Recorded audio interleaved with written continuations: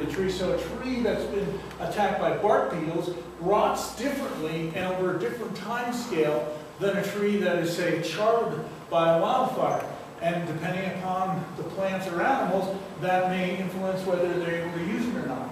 Um, this is the uh, uh, point I tried to make earlier. Forests do not recover from uh, fire.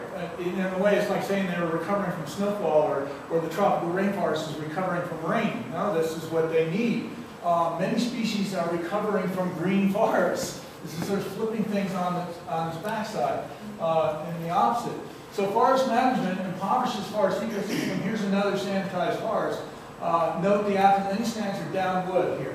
And the snag forest that results from whether it's beetles or fires particular is one of the rarest habitats in the West. If you're a species that depends on this habitat, it doesn't last very long because the trees tend to grow back over time or, or the vegetation grows back. And so the, and the trees and snags will fall down and whatever. And so your, uh, your habitat is, is lost. And as a result, biodiversity is second highest in places with severe burns. Um, and that's sort of, again, opposite of the way we would think. You know, you always hear the fire destroyed so many acres or whatever. Well, actually, it's created a bunch of habitat for species that really need it. For example, two-thirds of all wildlife species depend on dead trees at some point in their life. It could be uh, a fallen log on the ground that salamander hides on. It could be where voles go. It could be, uh, uh, it could be like um, uh, insects. 45% of all bird species in the West depend on dead trees.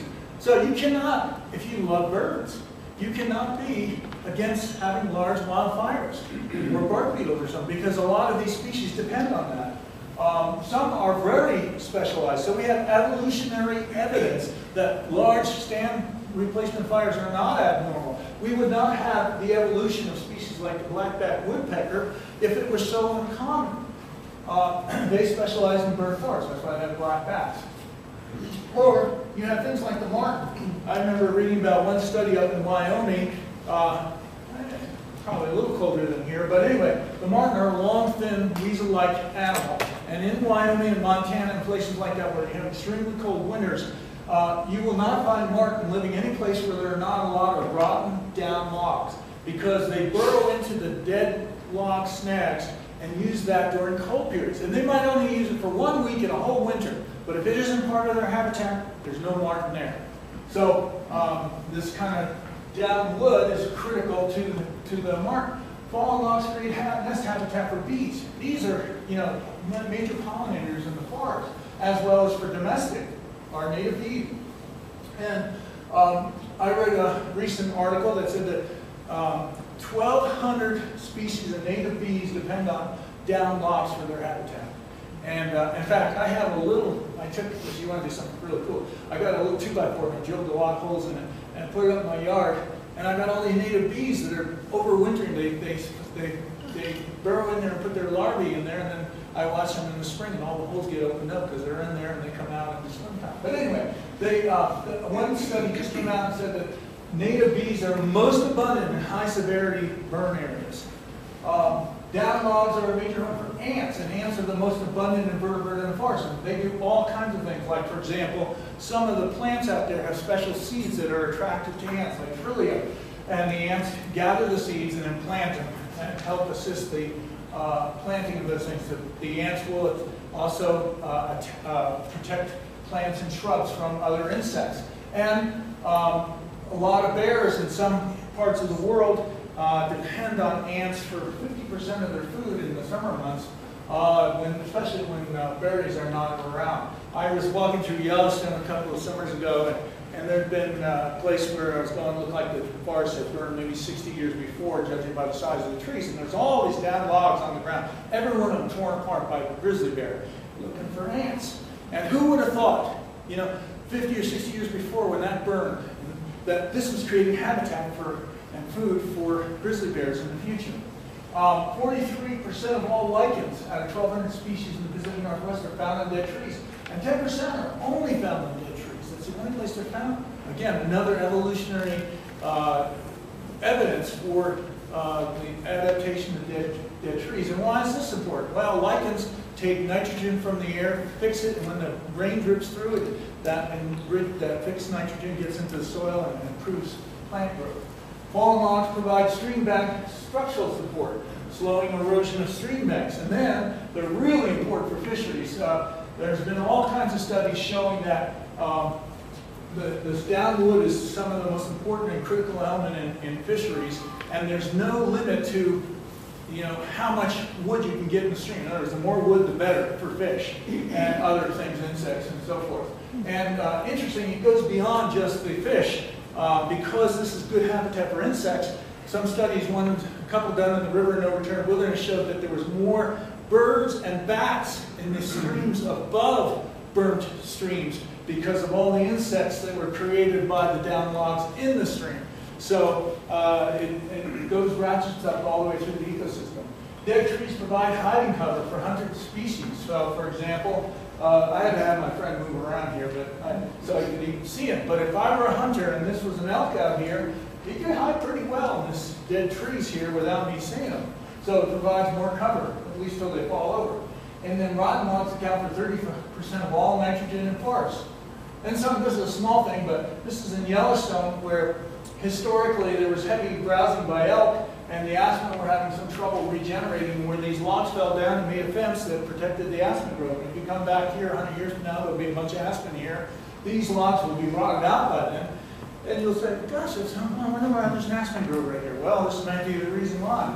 So uh, another is carbon storage. Any more, particularly in the uh, uh, climate change era, uh, there have been a number of studies that found that fuel treatments themselves produce carbon emissions and the untreated stands stored more carbon than the treated stands, even after a wildfire. Well, this, again, is counterintuitive, but it isn't if you think about it. What burns in the fire? It's the needles. This is, this is a small percentage of the, the carbon. A lot of the carbon is in the bole, in the roots, and so forth. So even after a wildfire that kills all the trees, you still have a lot of carbon left on the site.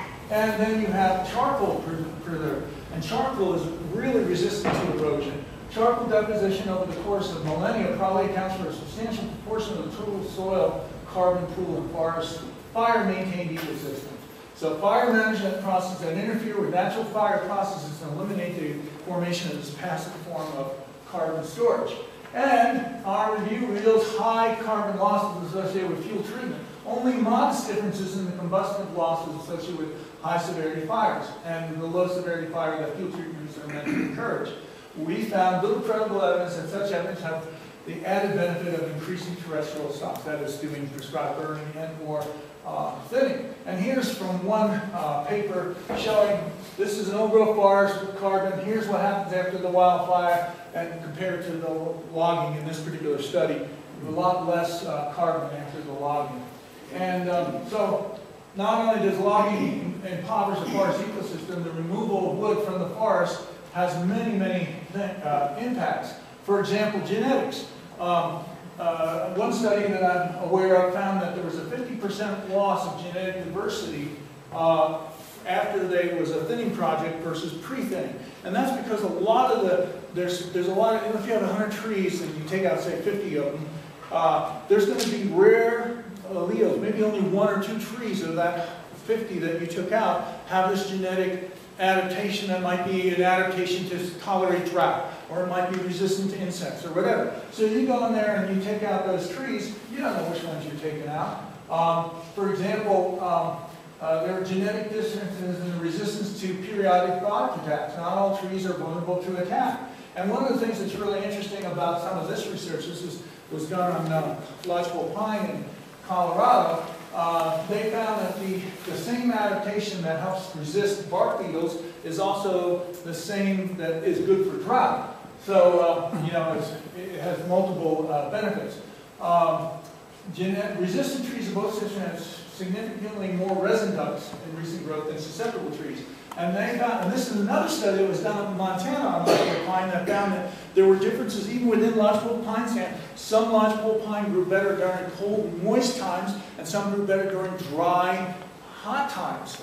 And, and again, the trees all look the same when you look at them, but they have these genetic differences. And uh, part of it uh, uh, suggests that you have to be careful, assuming that you're having no impact when you log. You have another uh, thing is weeds. This is the boundary of a logging project. Look at all the weeds that came in there. This is, this is an area burned behind there and has native vegetation came back. Where they did the salvage logging, it looks like that. Soil compaction, disturbance from logging, that's, you know, the compaction of the soil, all this debris that's uh, on the forest floor that's uh, broken up. Uh, logging roads also cause a lot of sediment. I, I don't know if it's as much of a problem around here, but in the Pacific Northwest, uh, it's a big, big deal because what happens is you have uh, the logging roads are there all the time. They don't go away usually, so they're a chronic source of sediment. You would say a fire creates sediment. It does, but it quickly, within three or four years, usually gets back to pre-fire conditions in most areas. And but the roads are there all the time. Plus, you cut across the uh, the subsurface flow right here. So water is subsurface hits this open point, comes out, gets on the road, carries down sediment, and, and screws up the stream for uh, fish uh, spawning and, uh, and, and, and other impacts like that.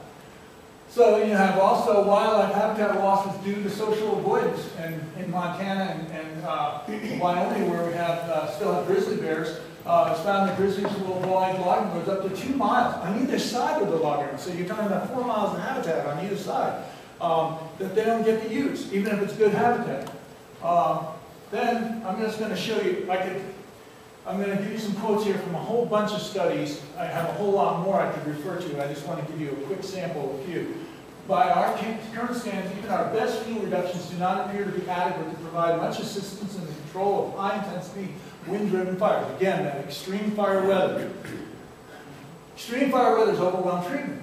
Environmental, extreme environmental conditions overwhelm most fuel treatment effects. This included almost all treatment methods, including prescribed burning and thinning.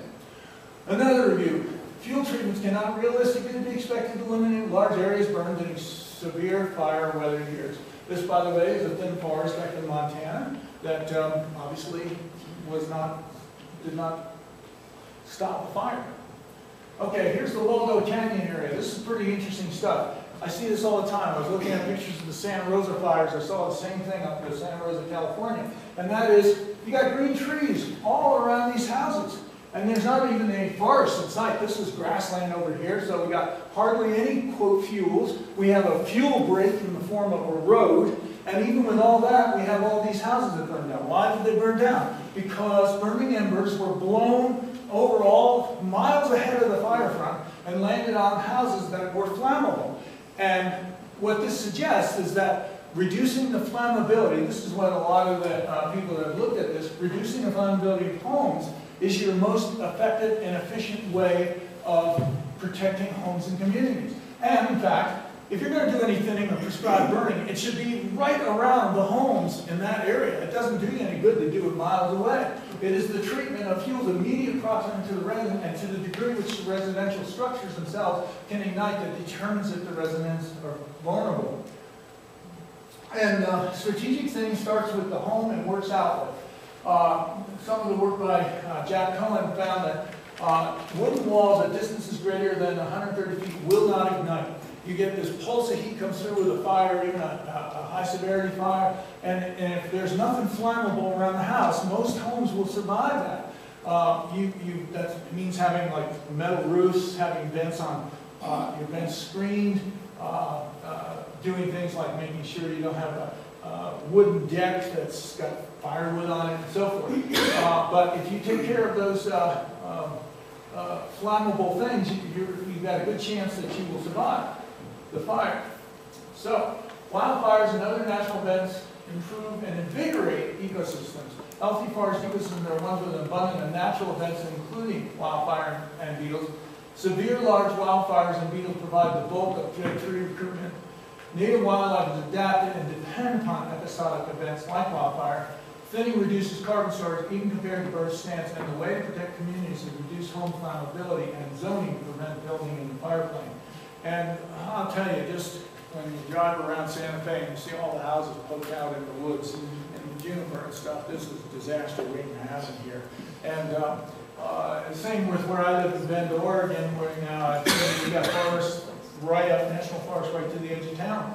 And, and I, I suspect that um, uh, we're going to have the right conditions for a fire that's going to blow embers. And And one of the things you have to realize that if you don't have these uh, mandated uh, uh, conditions that have to be met, that, uh, like metal roofs or something like that, even if you do that on your house, let's say you get all the pine needles out of your gutter and stuff, if your neighbor isn't like that, your house could burn down, because once a structure fire starts, structure fire puts out way more heat and more embers and so forth, and that's why you see the domino effect, like I showed you in some of those pictures. Um, so that's the, uh, you know, thing that you have to do. Now, there can be thinning, and, and some of that stuff can be done, if it's done strategically, at surgical points, you know, not just as a massive thing across the landscape. The other thing I want to point out is that um, a, a further problem with a lot of the prescribed burning and thinning that I've seen, and I don't know what it is around here, but up in Oregon and Montana stuff, let's say they do prescribed burn, they, if they do it at all, they do it once. Well, within five years, the vegetation's come back, and sometimes it's more vigorous than before uh, in a lot of cases. So unless you continue that, and indefinitely, forever and ever, you don't get an advantage. I mean, yeah, there's a chance that a fire happens next year, but the problem is you can't predict where fires are going to happen. And most thinning and uh, prescribed burning projects never encounter a fire. So, another reason why we need fires is to create habitat for forest elves. They're very particular to the kind of habitat they're found in. Now, uh, I, this is my two kids that are grown up now, but uh, we spent two summers traveling around the West looking at wildfires and stuff, and I was working on that one book. And uh, the, it's, it's, I overheard them talking to their friends when they got back to school in the fall. You know, friends were saying, "What would you do?" You know, oh, I went to summer camp and canoed, you know, and, and the other kids would say this or that. And then my kids said, "Well, we just went around and looked at a bunch of dead trees." yeah, thank you. Okay, uh, that's all I'm going to go.